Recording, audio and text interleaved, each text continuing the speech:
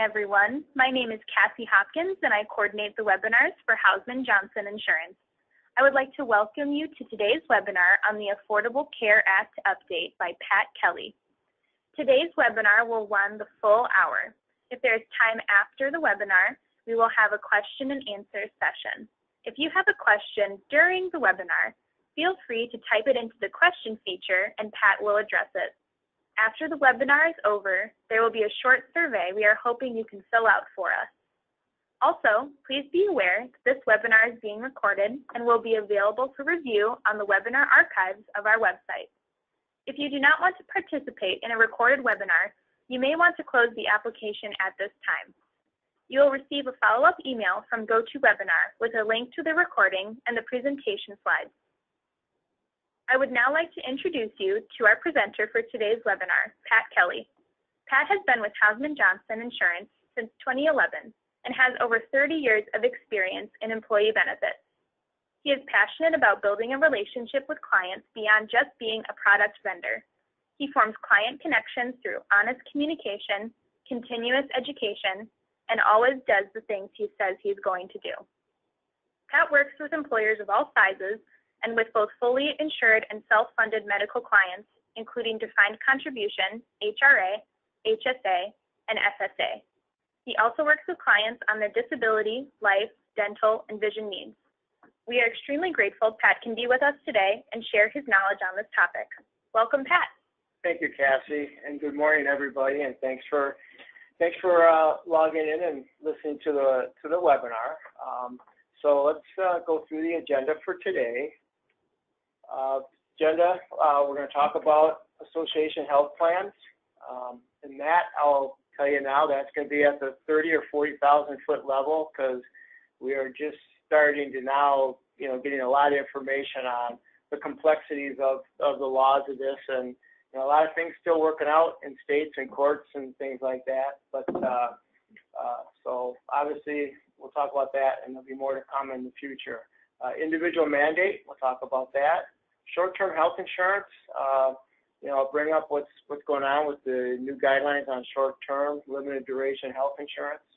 Then we'll get into large employer penalty affordability updates, the IRS notifications that hopefully none of you have received, but maybe some of you have received the uh, shared responsibility payment letters, notification of the individual subsidy letters that are also part of uh, forms that you should be receiving. Um, and it's kind of on again, off again, extensions and delays, kind of a section on, you know, where's the can being kicked down the road again or and so forth.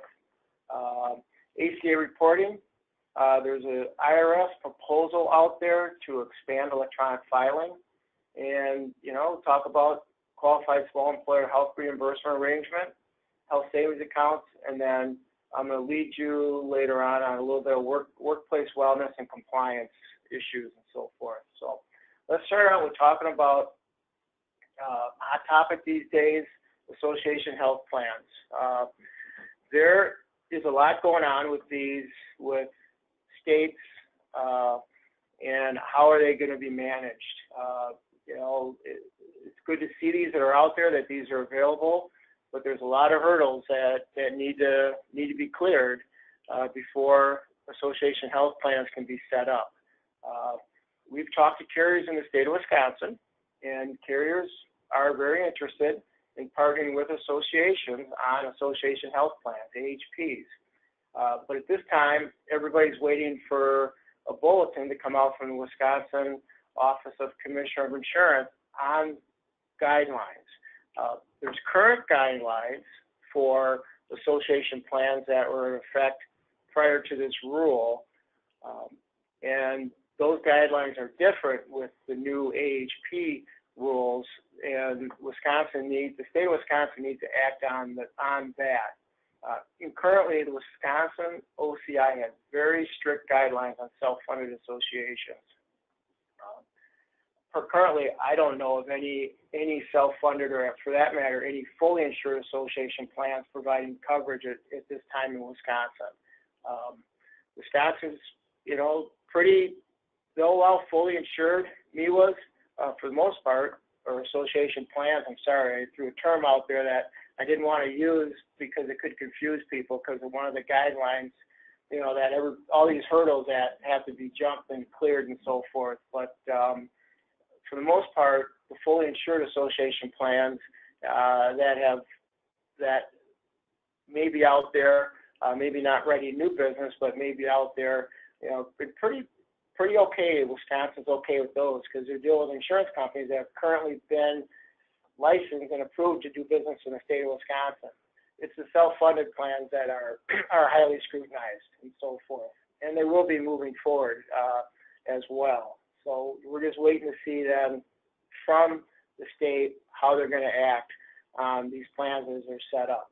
So um, as I've, I've just talked about, uh, even though the federal government has has uh, passed the AHP guidelines, states can continue to regulate those.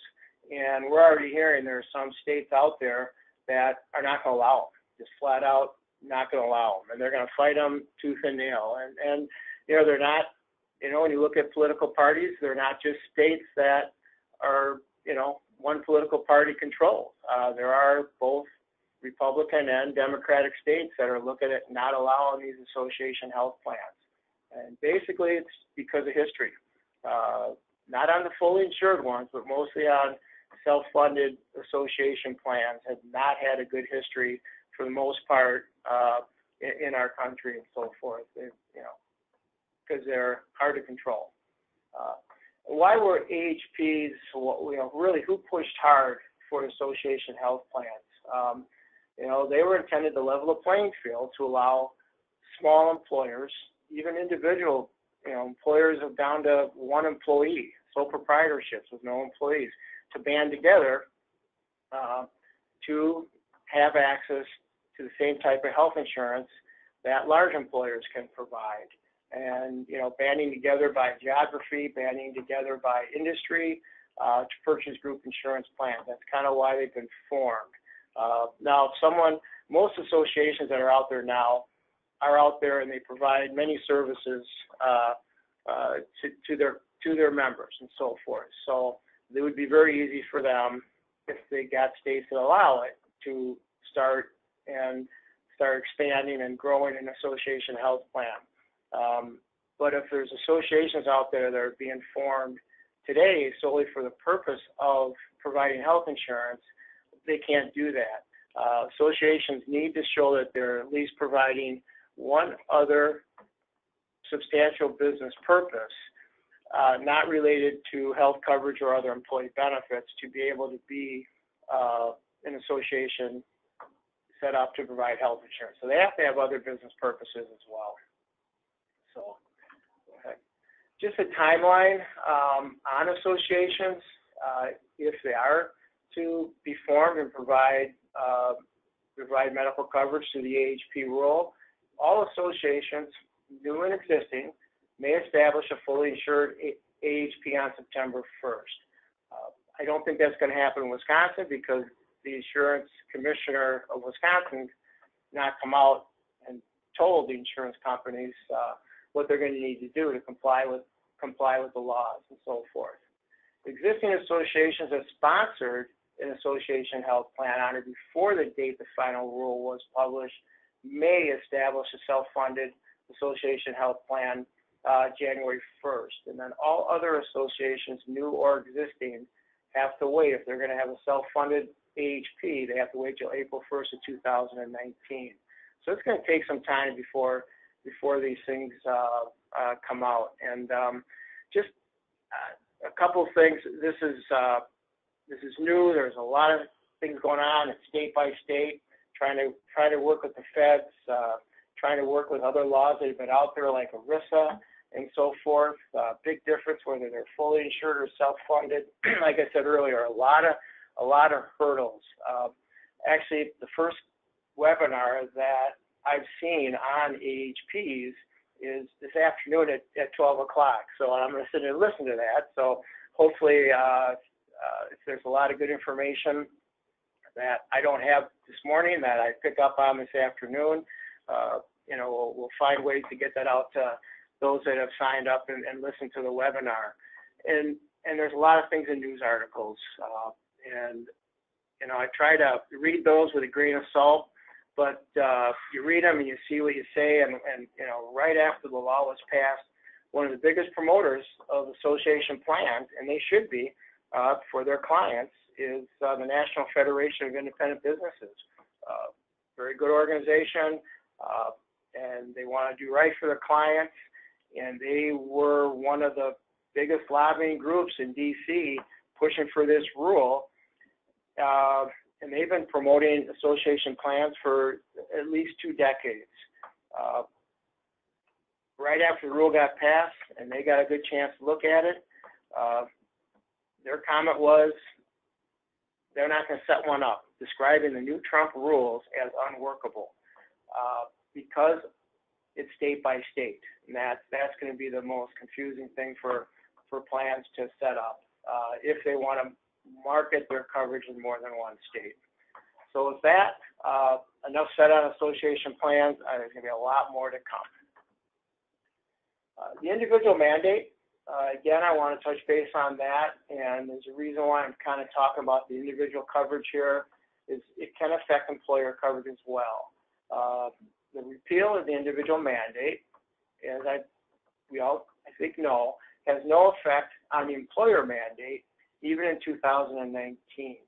So, you know, if an employer receives a marketplace subsidy, it can still trigger an employer penalty in 2019.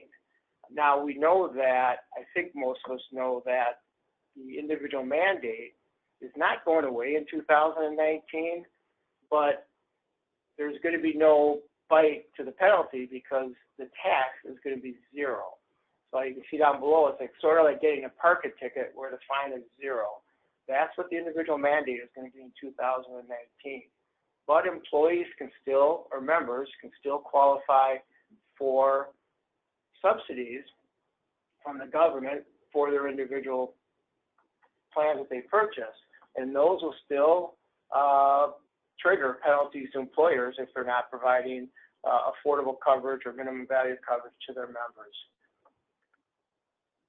Uh, now, I also want to talk about short-term limited duration insurance, something new. Uh, pretty much, it kind of came in a uh, swath of bills passed by the, you know, by our current administration that included AHPs, also on the short-term limited duration insurance. This does not provide minimal essential coverage. So, you know, you have employees that are saying, "I'm going to go buy these things and come off my group plan." Yes, uh, they can, obviously, you know, but they're going to be buying coverage that doesn't provide minimum essential coverage. Uh, so that means they could be subject to penalties. So if they do that this year, they could still be subject to penalties. Obviously, if they do it next year, there's no more ACA penalties an individual. So we could see some employees coming off of group health plans. Uh, you know, maybe they can buy these minimum, limited duration policies at a less expensive cost than what it costs them to participate in your health plan. So that could happen. Uh, what's making these more enhanced is they can now be issued for a period of up to 12 months. And they could be renewed for up to 36 months in total, taking into account the renewals or extensions that they're offered. Now, these plans could be medically underwritten. And they're not considered health insurance per the ACA guidelines. So we've all heard that these plans can have have uh, pre-existing condition limitations. They don't have to cover hospitalization if they don't want to. They can have limits on how much they pay. So they're, you know, individuals buying these are going to really have to read through what they're buying to make sure that, you know, someone does get in a bad accident that they're going to have coverage for that. Uh, obviously, the big the big one here is the, you know, the pre-existing conditions. You know, I don't see individuals that have pre-existing conditions jump into these policies. It's not for them. Uh, really, what's going to happen, healthy people, I'm not going to say young people, they're people that are my age that might not have any pre-existing conditions, um, that are going to buy these policies if they can buy them at a, at a much less cost and they can buy individual plans on the market or maybe even their place of work. We don't know that. We haven't seen them, you know, we haven't seen the pricing on these yet. But anytime you have healthy people moving to another product, it affects the product they come from because it leaves less healthy people in that product. And whether that's individual plans out there or whether that on the ACA or whether that's employer plans. Um, you know, we don't want to see that exodus of good, healthy people leaving our plants because we need them to offset the whole plant itself and so forth. That's, you know, shared risk. Um, and what's going to happen with these is you can buy them for 12 months and you you can renew them, but at at at the will of the company. So if you buy one and then develop a medical condition, when it comes up for renewal, you can be asked to to re, they can request medical questions again, and you could be declined. So um, you can buy for 12 and you could be declined. But what people are going to do is they're going to be buying these in conjunction with open enrollment for the ACA individual plans. So if they buy it, they get sick. Now they jump back into the ACA individual plans. You can see what's going to be going on here is, you know, people are going to be jumping out when they don't think they're going to use it. They're going to be jumping back into the ACA individual plans or back on the group plans at open enrollment when uh, when they need it. And guess what? Those plans can apply for existing conditions and so forth. So um, enough on on those, and there'll be more to come there as well. Okay. So let's get into some fixed things uh, that we've been dealing with for five or six years now. Is you know the large employer penalty and affordability updates. Um, so we can see numbers here. Uh, I have to apologize to fit all this on one screen. I had to get, I had to take off the 2015 and 2016 uh, lines here and I kind of did that. I'm thinking, gee, maybe I should take, not include 18 and 19 because we're just getting our fines if we're getting them for for 15. But uh, we've been looking at those for you know for good three and a half years now. So hopefully we have those ingrained in our memory as to what they were for uh, 15 and 16. But uh, just uh, the employer penalty is always indexed off that original 2,000, 3,000 amount, and um, uh, for 17 you can see those numbers. You know, they're going up every year. We've got we've had the numbers for 18 out, obviously. If if penalties are uh, uh, if you're if you're due any penalties for those years, we won't know until probably 2000 or 2021, um, 2020 or 21. But uh, uh, and then for 19, uh, they're projected to be these numbers, and uh, they're not out yet, but projected. And they're basically where do these estimates come from? Is premium adjustment percents from past years and so forth. So that's kind of a guess, but I just thought I'd throw that out so we can see what they're doing. They are climbing up to be more substantial every year if the if the employer mandate stays intact. Um, and then affordability update as uh, as far as you know what employees can can pay for their cost of their coverage before it's unaffordable is uh, you see in 2018, currently they can't cost more than 9.56% of their Box 1 W-2 income. And in 2019, it goes to uh, 9.86% uh, of what the individual coverage cannot cost more than for for a, a person at your place of employment. So obviously, you know, going from 9.56 to 9.86, you know, makes it, uh, you know, that premium goes up just a touch. And I'm also, you know, letting you see if, if you've been basing your coverage of what you charge your employees for their share of the individual plan at your place of employment, um, what the federal poverty level uh, requirements are. Uh, so for 17, 18, you can see they're pretty much holding true there, but because of the increase to uh, the affordability going to 9.86% for 2019, uh, employees can pay up to $99.75. Uh, and uh, the plan would be affordable. If, if, if you're using the federal poverty level for your employee base, the plan costs more than $99.75, then it would not be um, not be affordable for those those employees that that have the lower incomes and so forth. In the federal poverty level, we don't have the federal poverty level yet for 2019. So what we use is um, uh, the federal poverty level as of six months prior to plan year. So this could change for those that have plan years that are uh, July, August, September, and so forth. If your plan year is, is, uh, you know, those plan years and so forth, so. um, Just want to again touch base on the, uh, employer shared responsibility payment notifications, that letter two-two-six-J. Uh, how, to, to date, uh, clients that, that we work with that have received this letter, they've all been able to, to work with the, uh, the IRS and, and have, and not have to pay any fines. Um, so again, we, we feel, we think we've done the best for our clients to make sure they're offering affordable minimum value coverage and they're not in that, in that, in that, um, area should be receiving penalties. And even some of those clients that know they're not providing affordable minimum value coverage to everybody, they've elected not to. Knock on wood, you know, we haven't had any letters come out yet, come out back to them yet. Um, but I just want to make sure, and this is a lot, I did an AC update back in, uh, February, and a lot of this is real similar, but I think it's very important. Uh, still, we're seeing penalties for 2015. We're not yet seeing penalties for 2016. Uh, but if you get one, it's seven pages of information. Read through it. Please read through it. Yes, contact us, contact the agency you work with, uh, but you must read through it.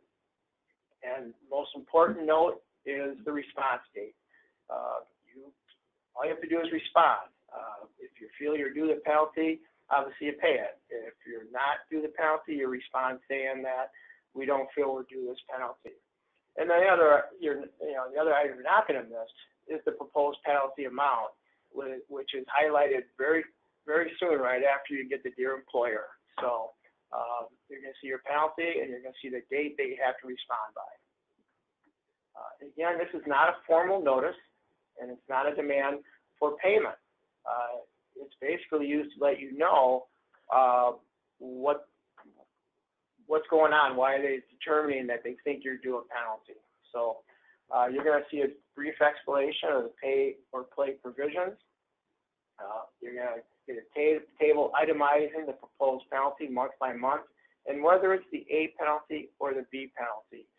If it's the A penalty, they're telling you that you're not offering affordable or minimum value coverage to at least, well, for 2015, 70% of your eligible employees. Uh, and that and that penalty is, you know, that's a heavy penalty because that's going to be based on your total number of employees, you know, minus 80 times whatever the penalty is, the 2,000 or the 2,100 and whatever it was for 15, obviously. So, uh, and the B penalty just says that you're offering coverage, minimum essential coverage to uh, your employees, but it's unaffordable and that would be the B penalty. So, um, and then you're going to get uh, a form uh, that you're going to need to complete and sign, and you're also going to get a list of full-time employees that received subsidized coverage in the month that they received it for. So you're going to see, um, you know, what the penalty is being based on, and so forth.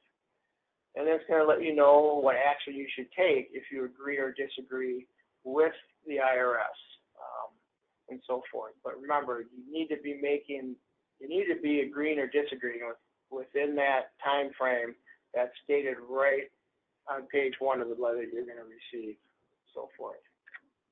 Um, so if you agree, uh, check the box and say I consent to the assessment and indicate payment method. And if you disagree, uh, you're going to check that box and um, and move on and let the well, you're going to have to explain why you're disagreeing, and then the IRS will contact you back to, to talk to you about it. Uh, there's also phone numbers on the, the cover letter, and we've had people, you know, yes, you know, call before their due date is up that they have to send a letter in, and they've got some of these penalties worked out, um, you know, right even before the, the date on the phone and so forth. So that's uh, uh, there, that's been a pretty good situation for most of our clients that have received the letter and so forth. So, enough on that. Well, um, one more, I apologize.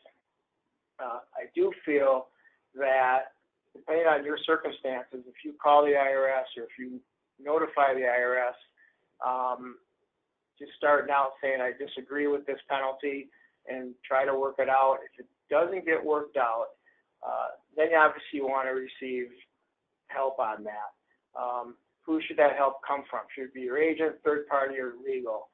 Uh, I personally would recommend any one of our clients, if they get pushback and they feel that they're still not due these penalties and the IRS is still saying you're due them, uh, I believe you should get a practicing benefits attorney, ERISA attorney uh, involved because any future discussion you have on why you feel you shouldn't, should or should not be, uh, shouldn't have these penalties applied, I think it's very important that you have client attorney privilege. And because if you tell me something and I get called to the stand, I have to spill my guts.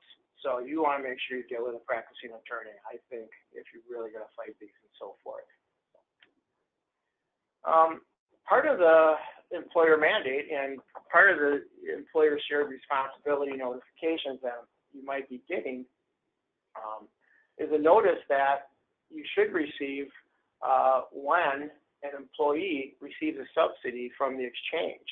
You know, they're they're they're claiming that they're working for you, and they're claiming that uh, you offer coverage, but it's either not affordable, doesn't even have a value, or maybe they claiming that they work for you, and you don't offer coverage. We don't know what they're stating until we get the letter. Um, but basically, if an employer receives a subsidy, uh, you should be getting letter 1411. Uh, and there's actually some court cases right now from some businesses that are getting fines that said they never got the Section 1411 certifications, and they're fighting back because it, it's kind of you're supposed to get both. You're supposed to get the 1411 first, and then now they're following up with the actual notifications that you do a penalty. And you know, again, across the country, there are employers that are fighting the penalty or saying that the guidelines that we were due the penalty were not followed because we never got these certifications.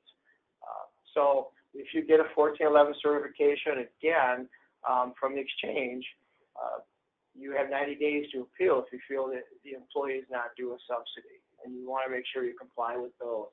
And really for a couple reasons. Probably in the best interest of the employee. Obviously, it's in your best interest, but there's even some, you know, interest in the employee here because if you have an employee that gets a subsidy and they're not due that subsidy, they have to pay that they will be asked to pay that back in the future. Um, and typically, the way they're paying those back is uh, if they're ever due a refund from their federal taxes um, when they file taxes, uh, they might not get that refund. Uh, the IRS will keep it if they see that, that they owe money. Uh, I did see again another article again in, a, in a publication where for 2015 uh, I believe hundreds of millions of dollars. Like I thought it was like 400 million dollars of subsidies that were paid out in air um, that they're that they're looking at now. So, uh, you know, in the IRS, not the marketplace, determines if you are due a penalty, and that would be the ESRP notification we just talked about, and so forth. So. And what's on again, what's off again, uh, extensions and delays. The individual and small group employer plans, uh, what we have called or are known as what they call transitional or grandmother coverage, can now be renewed through December 31st, 2019. Um, so the can's been kicked down another year, a year on that as well. So if you have a plan, if you're a small employer or an individual, and you have a plan that's not an ACA plan that's community rated or it's not a, you know, your platinum gold, uh, you can renew that coverage, uh, again, all the way through the end of this year and through the end of, of next year. Not independent on, on the carrier you're with uh, and what limitations they might apply, so forth. Um, well, on July 7th, um, the CMS, uh, Centers for Medicaid Services, halted, and then back on July 24th, they continued risk adjustment payments and collections. What are these? These are required again by the ACA, uh, and this is these are uh, payments and collections uh, from insurers on their individual ACA plans and their and their small group businesses that are that are in ACA plans. Uh, our current administration was going to pull those payments, and that would have affected carriers uh, quite a bit, um, and and so forth, because they're not going to get any risk adjustment payments. And these are carriers that took on or have written a higher number of higher risk people, and they have obviously higher claims because of that. Uh, they would get payments from the federal government. Where would this money come from? It come from other insurers that are participating in small group insurance and individual plans that took on a lower risk population. So it's kind of a, you know, rob Peter to pay Paul. Um, and the current administration is going to halt these, and then obviously, you know, 17 days later, they decided, no, we're going to continue these for this year. Uh, next year is, well, on the table, but this year they are going to continue those payments where they're going to be obviously collecting money from some carriers to, to give to other carriers and so forth. And, and the big concern here was if they stopped that, um, carriers would have obviously had to increase their costs higher, obviously to pay for the additional claims for those that had policies with them and so forth. So, so that's that's that's on again, off again. Um, Cadillac tax is currently delayed to 2022. Um, there is uh, currently a moratorium on medical device tax. Uh, that's a tax for those who make medical devices, uh, and that's been extended for 2018 and 19. It's currently it's currently a moratorium for 16 and 17 that's been extended. Uh, and annual fee on health insurance providers is suspended again for 2019. That fee was suspended for 17. We had it back for 18, and now it's going to be suspended for 19. And I'm sure all of you that look at renewal letters where it's it's shown what's the medical, you know, what are the taxes and fees that we are paying when you look at your renewal. Uh, this is a big deal because most renewals for 18, what we're seeing, uh, the increase in the renewal cost because of the, the annual fee on health insurance providers is about, on average, I'm going to say 3%. You know, nationally, I've heard 3 to 5%. So that's a, that's a big fee. So that will not be, that should not be on your renewals for 2019. Um, I say should not be because we're hearing some carriers have kind of, depending on when you renew, if you might see this fee on your renewal, although it'll be greatly reduced from prior years, uh, uh, just by the way that they calculate the fee and how they're spreading the risk amongst all their clients and so forth. So you have to just deal with, you know, the carrier, look at your renewal, work with us. You if, if the fee's zero, great. If there is a fee, have our have the insurance carrier explain why there's still a fee on there and and, and how they're balancing it. And if there's still a fee this year, they should explain why. Maybe the fee should have been a little bit lower last year than other carriers if they're spreading the risk. So, um, ACA reporting, uh, we do have the ACA reporting out, but right now we currently don't only have the draft forms. Uh, and just so you know, these draft forms are very, very similar to 2017 versions. Probably the only difference uh, that I've seen is instead of saying 2017, they say 2018. So they're very similar. Uh, and the filing dates are currently uh, the, the 1095s that need to be provided to your employees uh, need to be provided this year. That date is by January 31st. Um, and then as far as getting forms to the uh, IRS, if uh, needs to be the 1094, the transmittal with the 1095. Filing dates for that is to the IRS. If you do it by paper, uh, they have to be there by February 28th. And if you do it electronically, uh, it has to be the IRS by uh, April 1st. Um, And again, employers submitting more than 250 1095s per tax ID number um, must submit electronically. And again, it's per tax ID number. So if you're a combined and controlled group that's a large employer because you, there's four businesses involved that are commonly controlled and you know fall under that control group law for IRS 414, uh, and you only have you know 50 employees in a couple of your groups, uh, they would not have to, they're not forced to file electronically. Anybody can file electronically, except if you have 250 or more, you definitely have to. Um, so. Uh, and speaking of filing forms electronically, uh, this is a proposed IRS electronic filing rule. It's not carved and granted yet. It hasn't been uh, put into place, but it's proposed. And what the IRS is proposing is as some of you as those who have are filing uh, information returns of 250 or more, you know that you've been having to file your W-2s electronically. Um, and if you've been, if you have 250 or more 1095s, you've been filing those electronically. Same thing for 1099s, although that we don't deal with that with the ACA, but that's one of the information um, uh, returns that's required. So currently, it's if you file 250 more of each respective form. So example, you know, employer filing 260 W-2s must follow those electronically. But if you only have 200 1095s that have to be filed, you can file those electronic or paper. Uh, I think with the technologies that's out there uh, and is out there that most are filing, you know, all their forms electronically.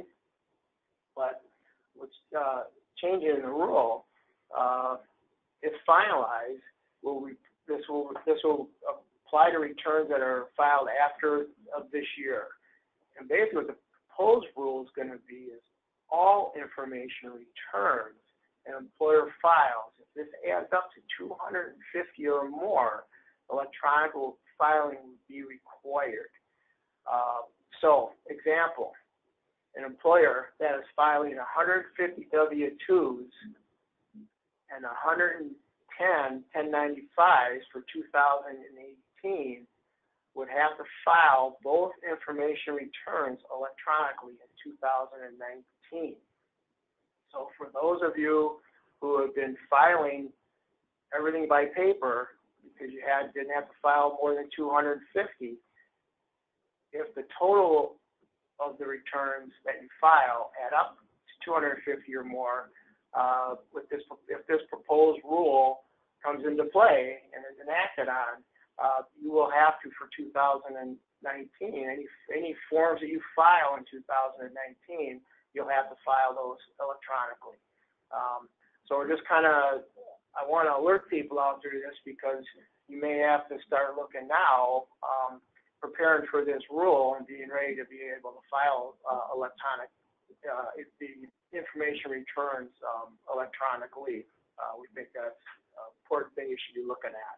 Obviously, if this proposed rule does come into play and, and it is going to be enforced, you know, we'll be getting information out to everybody we can, our clients and so forth, and we'll have stuff, I'm sure, on our, our website that people can have access to to know that that's happening and so forth. Um, but obviously, as we know, under current law, this example employer would not have to file anything electronically because they're not over 250 for the specific forms and so forth. Um, uh, so, and as well as not only the original returns would have to be filed electronically. If you have to do any corrected returns, they would have to be filed electronically as well. So what the new law is saying is if you file electronically, because you're required to, because of the 250 uh, threshold, even if you only have to file two or three corrected returns, they have to be filed electronically as well in 2019. So, thank you. And again, we still have uh, out there for small employers, uh, health reimbursement account availability that allows them to help pay for coverage if they don't provide a group plan and they just want to help employees out with their individual coverage to help pay for that, so forth. Uh, we, we know this is out there. We've talked to our clients about our small employers. We, as of yet, have not had a small employer uh, drop their current health plan to move to this type of a program. Because again, when you look at all the hurdles to jump and all the guidelines, it's, it's too confusing. And actually, in most cases, it would have cost the employer more. Um, so it hasn't really been a, an area of boon for small employers to say, gee, I can finally save money now and I can I can move on to something else and get out of providing group insurance to my employees. And not that small employers want to do that, but those who have even thought about it and looked at it, when we do the cost, we've, we've shown that uh, it's going to cost more and there's a lot of red tape and a lot of hurdles and a lot of documentation and notifications that they have to do on an ongoing basis that was just, again, you know, too many rules to make it make it a viable program to to want to get involved with. And I don't, we don't have any clients that did this that weren't even providing group insurance in the first place that said, hey, now this is out there, I'll get involved and help my help my employees out. I don't know of anybody that, that's taken these on and so forth. And I've talked to the companies that do the administration for these, and yes, they have some they have some clients on board, but it wasn't a it wasn't a you know a, a boon to them at all of, of writing new business because of this and so forth. So health savings accounts, again, this is not a uh, ACA thing, but I like to add it um, because um, uh, it's just nice to know about the health savings accounts that are out there, what employers can do, what's changing. Um, again, I'm going to remind people that anybody contributing to a health savings account your money goes in tax-free, it grows tax-free, uh, and it can be withdrawn tax-free for qualified expenses. So you've got a lot of benefits there. Uh, no changes in 2019 on the minimum deductible. Minimum deductible is going to stay at 1350 for single, uh, 2700 for family. And at this point in time, no changes. Plans can still not have any office or drug copays uh, without satisfying the deductible first. Um, exception would be ACA preventive care, required care is covered 100%. And I say at this time because, and I'm not going to get into this because I'm um, too often I've explained what's been passed in the Congress, and we've done a big thing on that. And then the Senate says, forget it, we're not going to allow it. So uh, if something gets approved and going to be effective, and and the government's going to allow it, uh, we'll talk about it. But things that are out there, they're just kind of hanging out there, uh, we're not talking about. But there are some bills, just you know, a couple bills that have passed the Congress to make HSAs, you know, enhance them, make them more viable. And when we know what that is, for sure, uh, we'll talk about it. So uh, the maximum out of pocket on HSAs is going up uh, in 2019. So the maximum spending that a single can have is 6750. Uh, the maximum spend a family can have is uh, is 1350. So one thing I did include here is the ACA maximum out of pocket for 2019. That's going to $7,900 for single uh, 15.8 for for family. And what this is is just saying that the ACA limits the total spend for an individual of $7,900. That being their deductibles, their co-insurances, their drug co-pays, you know, their office co-pays, you know, they can't add, once they add up, if they add up to that amount, then for the remainder of the plan year, you know, that individual or family, if the family hits 15.8, would have no more drug co-pays, office co-pays, deductibles, co-insurances, and so forth. And how does that kind of tie in with high deductible health plans? Remember, to to contribute to a HSA, you have to meet certain guidelines, and that's minimum deductibles, maximum out of pockets, can't have other coverage, it's not HSA compatible. But uh, the deductibles on HSAs, qualified plans, uh, work two ways. Um, certain plans have to have what they call an aggregate deductible, meaning that if you have family coverage and your family deductible, even though your single deductible maybe is twenty-five hundred, if your family deductible is five thousand, that's the aggregate for the family. So it could be one person hitting five thousand in family coverage, or it could be, uh, you know, addition of all the family members adding up to five thousand. So there are some plans out there that have an aggregate family deductible, let's say ten thousand dollars. If that's the case, even though the HSA guidelines say that, or the, the plan guidelines say the aggregate family deductible of ten thousand, because the ACA puts a maximum of seventy-nine hundred, no more than any one person in that family plan could have seventy-nine hundred dollars of charges.